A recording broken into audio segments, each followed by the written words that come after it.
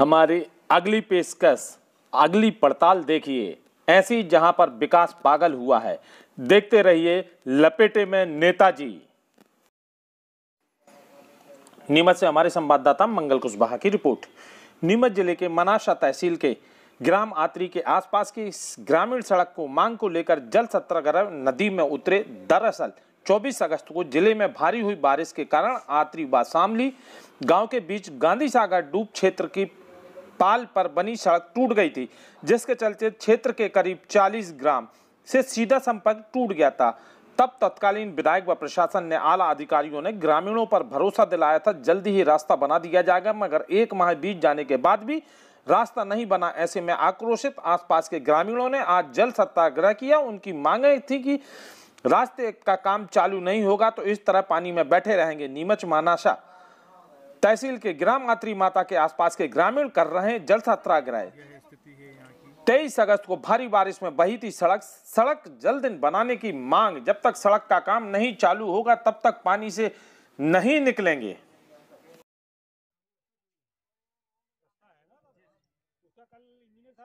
हमारे स्कूल जाने में बहुत परेशानी हो रही है और यहाँ पे इतना पानी है कि हम निकलने में बहुत हमें तकलीफ़ होती है। एक, एक दिन कुछ दो तीन बच्चे भी गिर गए थे अंदर से वो तो पास में कुछ लोग थे उन्होंने मिलके निकाल लिया देख देख सकते हैं आप कितना इतना गले तक पानी है। कितने गाँव जुड़े हुए इससे? इससे कम से कम गाँव तो बहुत सारे तीस चालीस गाँव जुड़े हुए हैं कम से कम सौ से डेढ़ सौ बच्चे रोज स्कूल जाते हैं इधर। अपन मैं भी खड़ा हो जाता हूँ आज आपके साथ पानी में ठीक है? तो इससे क्या हो जाएगा क्या सोल्यूशन नहीं है ना? अपन बाहर आके ग्राम सभा करते हैं उसके बाद सबके साइन होते हैं डॉक्यूमेंट लेके जाते हैं। मैं भी आगे भेजूँगा कि सर हमारे पास राशि नहीं है आप इनरोल जतारा से हमारे संवाददाता नीरन चौबी की रिपोर्ट। आज जतारा में कांग्रेस पार्टी के राज्यपाल के नाम दिया ज्ञापन। जतारा आज जतारा में कांग्रेस कार्यकर्ताओं ने भारतीय जनता पार्टी द्वारा जनता के बीच की गई भारी अनियमितताओं का हिसाब दो, जवाब दो के श्री महामहिम राज्यपाल जी को एक ज्ञापन जतारा अनुविभागीय अधिकारी के द्वारा सौंपा। अधिकारियों को सौंपा। ज्ञापन में पंद्रह वर्ष से लगातार जतारा क्षेत्र की जनता बेरोजगारी के कारण पलायन कर रही है। भाजपा ने क्या किया?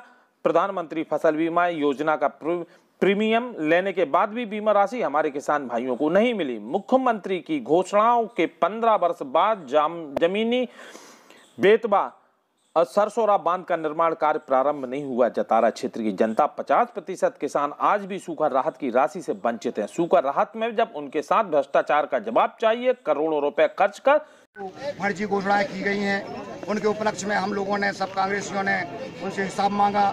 और जवाब मांगा कि आप अपनी ये घोषणाएँ कब पूरी करोगे?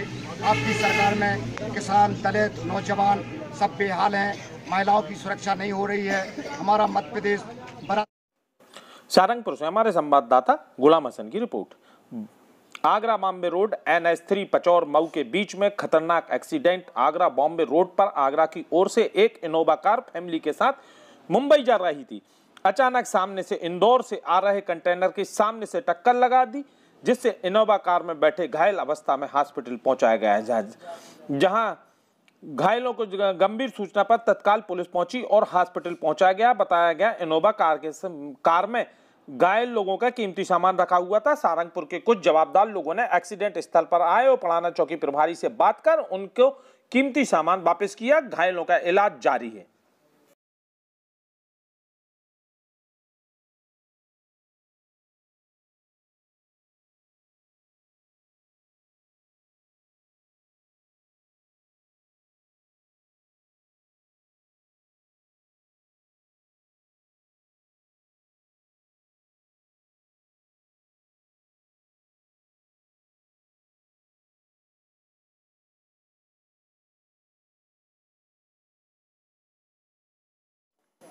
राजगढ़ से हमारे संवाददाता कौशल ललित की रिपोर्ट।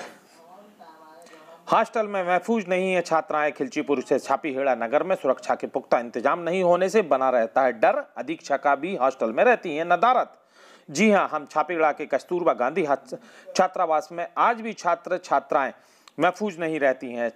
सुरक्षा के पुख्ता इंतज़ाम नहीं होने से छात्राओं के मन में हमेशा डर बना रहता है। बालिकाओं को शिक्षा की मुख्य धारा से जोड़ने, उन्हें मुफ़्त में रहने व खाने पीने सुविधा उपलब्ध कराने के मद्देनजर ज़िले में दर्जन छात्रावास संचालित हैं, लेकिन किसी भी कन्या छात्रावास में सुरक्षा के पुख्ता इंतज़ाम नहीं हो पाए हैं। कभी भी अधीक्षिका की मौजूदगी नज़र नहीं आती है, जिसका फ़ायदा बाहर के असामयिक तत्व उठाते हैं। रात में भले ही हॉस्टल के गेट बंद हो जाते हैं, लेकिन छात्राओं के मन में डर बना रहता है। दिन में भी अनाधिकृत रूप से कभी भी कोई भी आसानी से हॉस्टल पहुँच जाते हैं, जो छात्राओं को बिल्कुल भी रास नहीं आता। शिकायतों के बावजूद सुरक्षा के पुख्ता इंतज़ाम नहीं होने से छात्राएँ हॉस्टल में डरी हुई और सहमी रहती हैं। छापेड़ा नगर में कस्तूरबा गांधी छात्रावास में अधीक्षका नदारत मिलते हैं। हालाँकि हॉस्टल में छात्राओं कुछ घंटे तक अधीक्षिकाओं की उपस्थिति की बात स्वीकारी है। वहीं कहीं छात्राओं ने दबी ज़ुबान से हॉस्टल की सुरक्षा व्यवस्था पर सवालिया निशान खड़े कर दिए हैं। बाउंड्री वाल या गेट लगने का है। जो भी आए वो वहाँ से प्रबंधक चर्चा करे। मैं उसका करूँगा निराकरण सर वो तो कहते हैं कि वो नगर पालिका वाले बस बातें फैलते हैं। नहीं नहीं वो आके मिले मेरे से। अभी मुझे बैठे दो महीने हुए हैं। तो वो मेरे से एक भी बार नहीं उसके बावजूद मैंने काम करवाया।